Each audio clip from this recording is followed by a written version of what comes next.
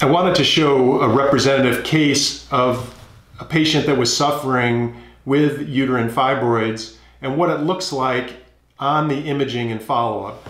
So on the left hand image, this is an MRI picture from the side view. You can see how large the woman's uterus is. Um, here's her bladder in front of the uterus and the uterus is enlarged like a four month pregnant woman, largely from this very large black circle uh, seen in the central part of her uterus. It caused significant heavy menstrual periods.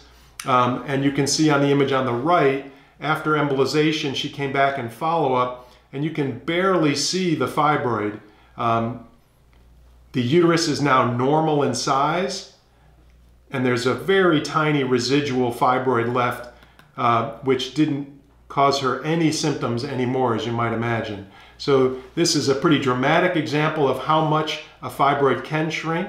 Uh, the average shrinking is somewhere in the 40 to 50% range at three months and about 60 to 70% at six months to a year. This is obviously a dramatic example, but one that we often see uh, at the Atlanta Fibroid Center.